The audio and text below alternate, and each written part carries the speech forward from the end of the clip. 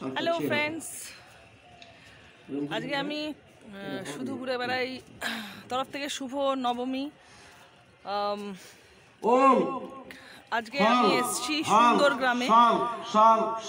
সুন্দর সুন্দরগ্রাম নামটা খুব আইডিয়াল কারণ খুব সুন্দর একটা গ্রাম।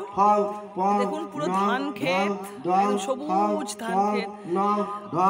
কলকাতার মধ্যে থাকতে থাকতে সত্যি গ্রামের পরিবেশগুলো আমরা ভুলতেই বসেছি। আমিও মানে আমার নিজেরও সত্যি এত ফেসিলিটি আমাদের এখন কলকাতা শহরে আমরা এই গ্রামের মধ্যে আসতেই চাই না ভালো মতো।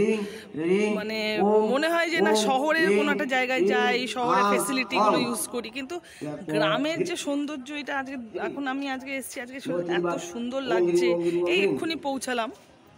ওই আপনার বাসন্তী হাইওয়ে থেকে এটাও স্ট্রেইট একদম। আমি আগের একটা ভিডিও দিয়েছিলাম বনবিথি রিসর্টের সেখানেও বাসন্তী হাইওয়ে দিয়েই আমি এসছিলাম। তো এটাও সেরকম ওই সায়েন্স সিটি থেকে বাসন্তী হাইওয়ে হয়ে আপনাদের আসতে হবে ওই কুড়ি পঁচিশ কিলোমিটার দূরে এই সুন্দরগ্রাম। এখানে রিসর্ট আছে এখানে একটা সুন্দর গ্রামীণ পুজো হচ্ছে দুর্গা পুজো তাই জন্য সেটা ভিজিট করতে এসেছি। তো আগে দেখে নিন পরিবেশটা আমি দেখাবো পুজো দেখাবো সব দেখাবো আমার সাথে থাকুন।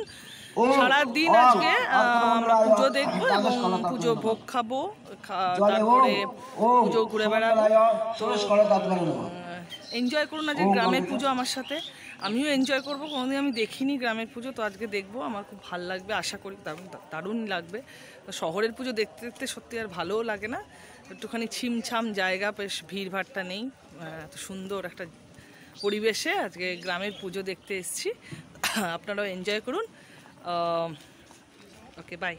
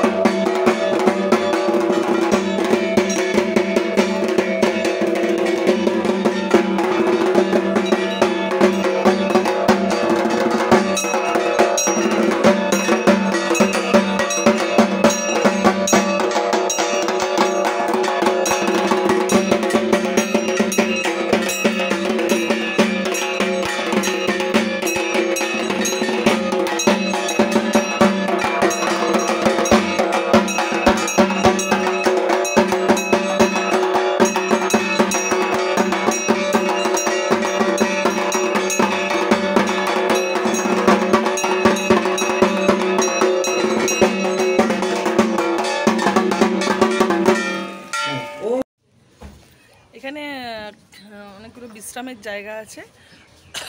এখানে কার পার্কিং যদি গাড়ি নিয়ে আসবেন, এই দিকটা কার পার্কিং আছে। তো দেখিয়ে দিচ্ছি।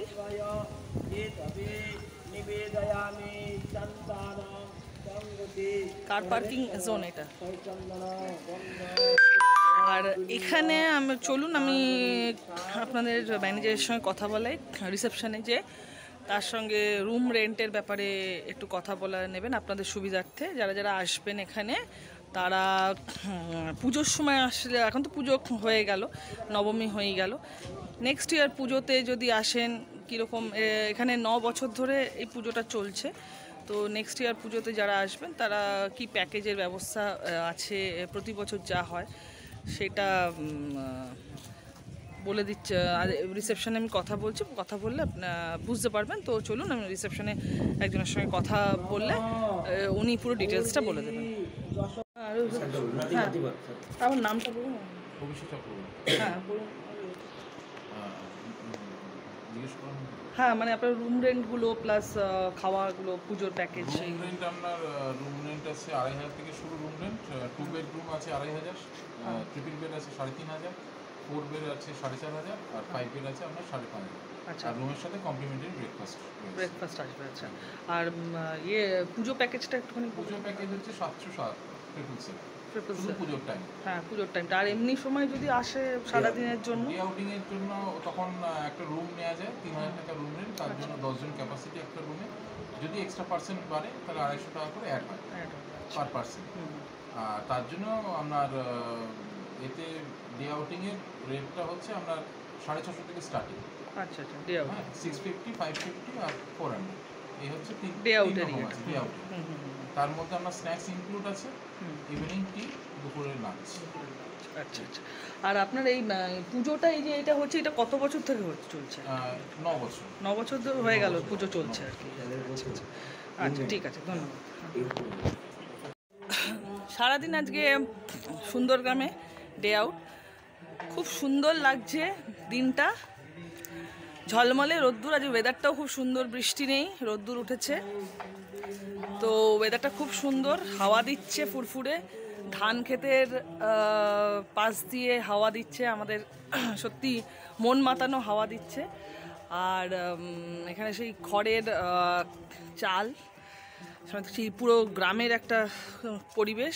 কুড়ে ঘরগুলো সব খড়ের দিয়ে আর ভেতরটা খুব ঠান্ডা মানে যেখানে বসেছি সেখানটা খুব ঠান্ডা মানে একদম এসির মতো। মানে এবারে আমার মনে হচ্ছে যে গ্রামে যারা থাকে, তাদের যে খড়ের চাল, তাদের এসির দরকার হয় না। মানে ভেতরটাই এত ঠান্ডা থাকে যে এসির আর প্রয়োজনের দরকার নেই।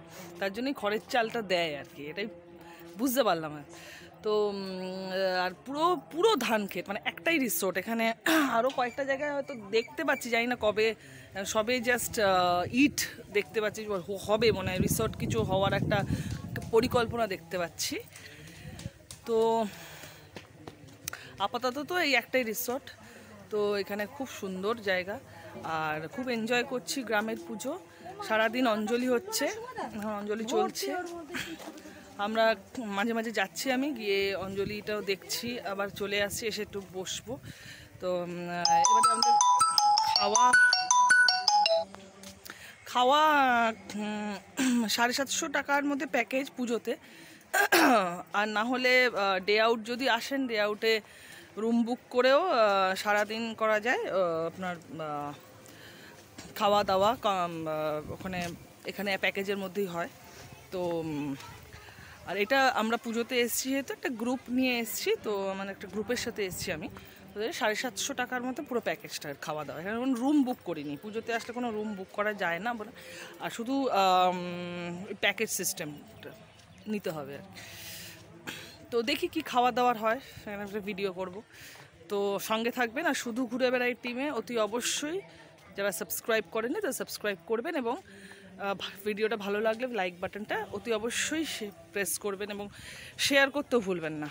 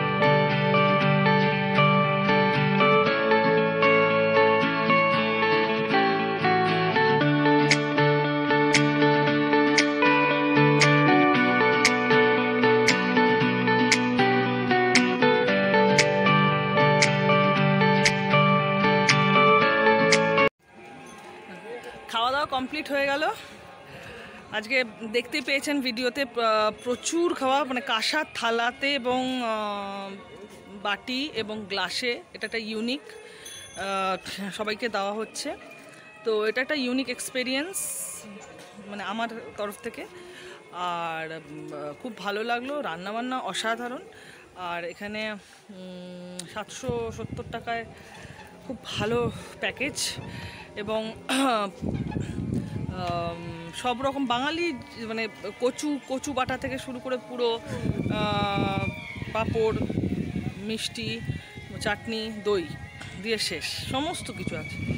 হ্যাঁ ডাল ঝুড়ি আলু ভাজা, গরম গরম, পটলের দোলমা পাবদা মাছে সর্ষে দিয়ে, মাটন। অসাধারণ খুব ভালো লাগল খাওয়া দাওয়া। তো আমাদের আর বিশেষ কিছু করার নেই। ঘোরা টোরা হলো পুজো দেখলাম, অঞ্জলি দেখলাম, অঞ্জলি শুনলাম। ঠাকুরের সামনে ভক্তি ভরে মানে নিজেকে সমর্পণ করলাম। খুব ভালো লাগল। গ্রামের ঠাকুর কীরকম হয় সেটা তো মানে আমি এই প্রথমবার এক্সপিরিয়েন্স করলাম। আমার তো প্রচণ্ড ভালো লাগল। আবার আসব। এটাই আশা রইল যে পরের বছর, হয়তো এখানে না হোক অন্য কোনো একটা গ্রামের পুজো দেখতে যাবই আর কি। তো খুব ভালো লাগল আর এখানে এত সুন্দর পুরো ধান ক্ষেত একদম মধ্যে রিসোর্টটা খুব খুব ভালো লাগল। এবং এত সুন্দর হাওয়া দিচ্ছে, পুকুর পাড়ে একদম হাওয়া মানে উড়িয়ে নিয়ে যাচ্ছে একদম। এখানে বসে কত, অনেকক্ষণ বসলাম, খুব ভালো এক্সপিরিয়েন্স হলো। এই স্মৃতিটা নিয়েই আমি বাড়ি ফিরবো। তো আজকের দিনের জন্য এইটুকুই। এবার আমরা বাড়ির দিকে রওনা হচ্ছি। বিশেষ কিছু করণীয় নেই। এখন নবমী, আজকে তো জ্যাম হবে কলকাতা ঢুকলে, তাই জন্য একটু তাড়াতাড়ি বেরোবো। তো, আশা করি ভিডিওটা ভালো লেগেছে। ভালো লাগলে আপনারা লাইক করে দেবেন এবং শেয়ার অতি অবশ্যই করবেন।